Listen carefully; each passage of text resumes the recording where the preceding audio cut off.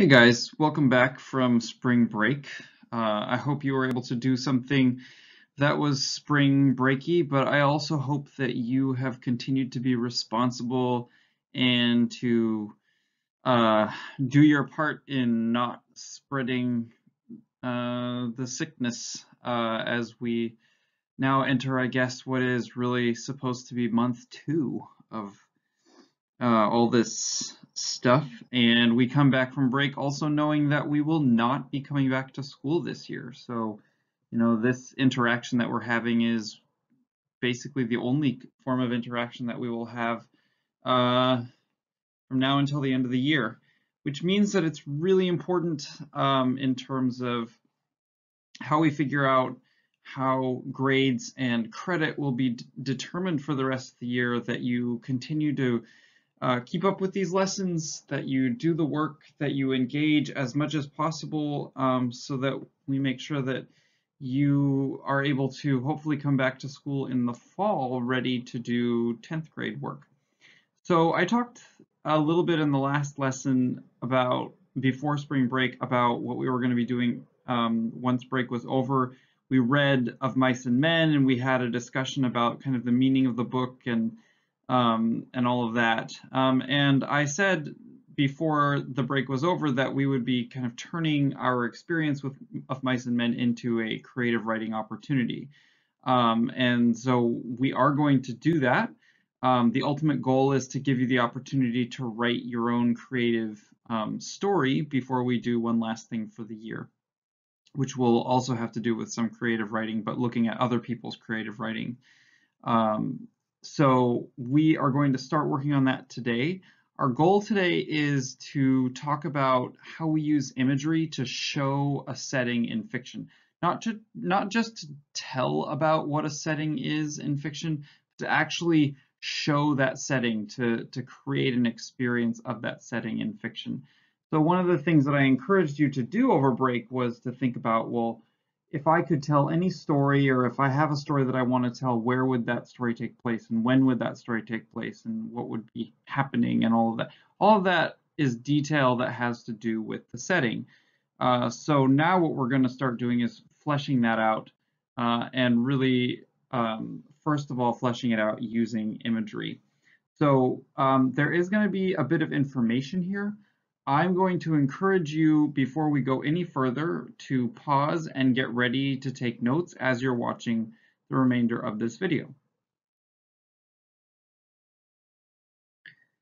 So now that you have gotten your notes ready and you're going to uh, take those notes however they look, uh, then let's talk first about what imagery is and how you should use it. And when I say should, like there's not a right or wrong way to use imagery it's not like if you use imagery and it's good, but it's not used in this way, you're doing it in the wrong way. But there are more effective ways to do it, and that's kind of what I mean uh, when I say should. Um, I've also given you this little picture over here on the right to imply what imagery is, because a lot of times we think of imagery as just images or pictures. And while that is a part of imagery, it's not the entire uh, the entirety of imagery. Imagery is actually a whole bunch of stuff. So what imagery is, is at least in fiction and in writing, imagery is words or yeah, words that create physical sensations. And we all know that physical sensations are not just limited to, to what we think of as, as pictures. So anytime words are, are used to create physical sensations, and the reason that this is important to understand is because physical sensations produce emotional responses. We've all read the boring stuff. You've probably read plenty of boring stuff in my class, right? And one of the reasons that we find things boring is because we are not emotionally engaged with what we're reading. But when we write fiction, we want to be emotionally engaged. We want to have those feelings that get us that put us in the place, right? That allow us to experience the place. And a lot of that comes down to physical sensation. So when we can physically experience a place, then we can understand that place and um, become emotionally attached to that place. So let's be clear on what physical sensations are because they're not just pictures. Physical sensations are sight, sound, taste, smell, and touch. So we've all had that experience where, you know, we see something that reminds us of, you know, the good times or the bad times and we have that emotional response.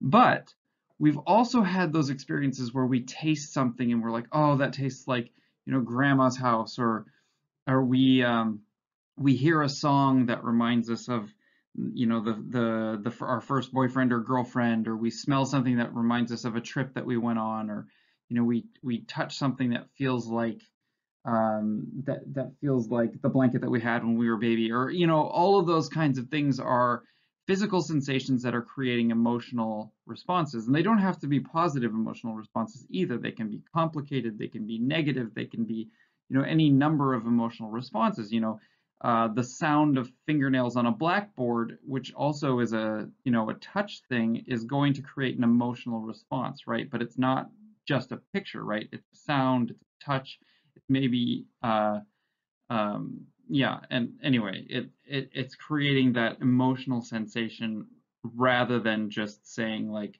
you know, here's a picture of somebody putting fingers on a blackboard, right? So um, that's the important thing. Now, how do we use it? Well, we we use imagery. You can create, you can use words to create these physical sensations in any number of ways. Obviously, you're going to need verbs and adjectives and nouns and all of those things. But what I'm going to encourage you to do is to really think about the way that you use verbs to give life to your imagery. You know, like I said, you need nouns and you need adjectives and and adverbs and and all of those things in order to create imagery. But verbs are going to do a lot of heavy lifting for you. So let's look at this example. If I wrote the sentence, the baby had poofy fluffs of dark hair that felt ticklish, we have the image of the baby with dark hair. We have a little bit of, of uh, touch. It says it felt ticklish, right? Well, what is what is the feeling of ticklishness? um, you know, poofy fluffs of black hair. Okay, there, there's the picture of this baby. It's it's fine. It's not that we don't have a little bit of of an image there, but if we compare that, and well, first of all, we look at the verbs, and we have two fairly boring verbs, had and felt. All right, that you know they're fine. They they they do a basic job, but if we rewrite this sentence like this, fluffs of dark, poofy hair tickled my nose as the baby nestled in for a nap, the, the image is essentially the same. We have, you know, the experience, uh, the, the, the ticklish feeling is there, but now it's under our nose. We can place the baby, the baby's obviously close enough, his head or her head is close enough to be kind of underneath our, our nose so we know that we're holding the baby.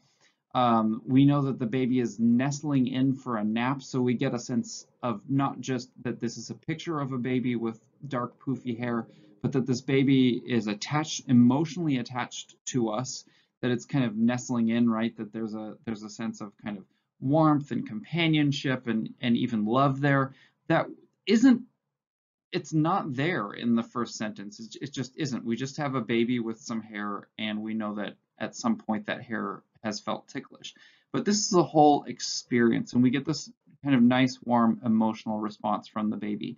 So as you're writing imagery, when you think of, you know, what kind of what kind of physical sensation am I going to create for this this world that I'm that I'm building in my fiction, you want to be thinking about you know, not just what does it look like or what does it sound like or what does it um, smell like or, you know, all feel like or taste like or whatever it is that's important to building your world, but what kinds of verbs and experiences are going to allow that world to really come to life.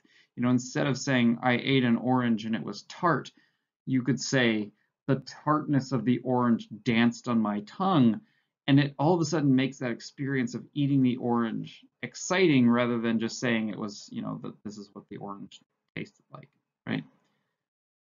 So let's look at one last example. Um, this is a professional example. uh, of imagery and setting from Of Mice and Men, and this is from the very beginning of the book. So it says, a few miles south of Soledad, the Salinas River drops in close to the hillside bank and runs deep and green. On the sandy bank under the trees, the leaves lie deep and so crisp that a lizard makes a great skittering if he runs among them. Rabbits come out of the brush to sit on the sand in the evening, and the damp flats are covered with the night tracks of coons and with the spread pads of dogs from the ranches and with the split wedge tracks of deer that come to drink in the dark. Now there's no denying that there's plenty of imagery here. The whole thing is basically a picture of of the Salinas River Valley in, in California. It's very beautiful. Um, but you can also kind of see how he's using verbs. Uh, the river is dropping close to the hillside, right? Like we get the sense that it's in motion, it's going, that that it's running deep and green. Again, the the motion of it. Um, uh, the the lizard is making a great skittering as he runs among these leaves that are lying deep, right? So like we get the images, the the the actual picture of these leaves on the ground but we also get the whole movement of the of the lizard on top of the leaves and the scratching, you know, this this the the skittering, scratching sound of a lizard running across them. There's movement there, right? Like there's there's just a life to this place. The rabbits uh, sitting on the sand in the evening, you know, this kind of placid, you know, the rabbits there uh, and then we get just the pictures of the different tracks and the sense of life that's around it, right? The tracks of the of the coons look different uh, than the pads of the dogs and the split. So we we just really have this sense of movement and life and and nature there that you know makes us kind of attached to um, to this place that otherwise if we just said you know there was a river and there were lizards and there were tracks it would all be very bland. We would have a picture of it, but we wouldn't have this nice emotional feeling sense of, of place. So it's really, in my opinion, in here, the verbs are creating this kind of sight and sound. We can also get a kind of a secondary sensation of maybe smell and touch.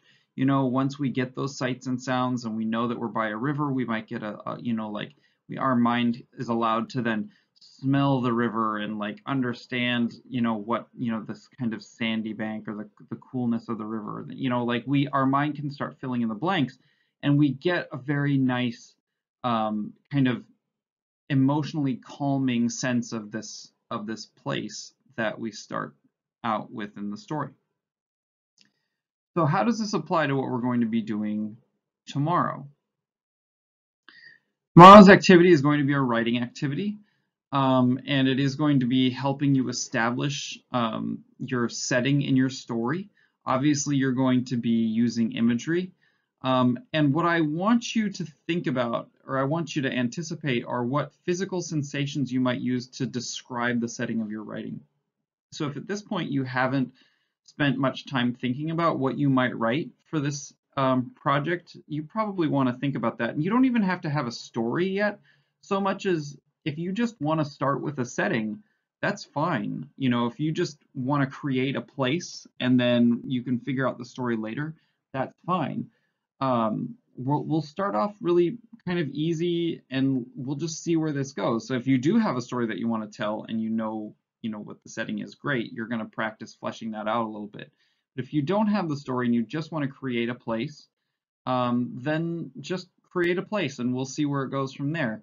But what I want you to think about for tomorrow's activity is what kinds of physical sensations are you going to use to describe that place? And especially what kinds of verbs would be appropriate to creating those physical sensations.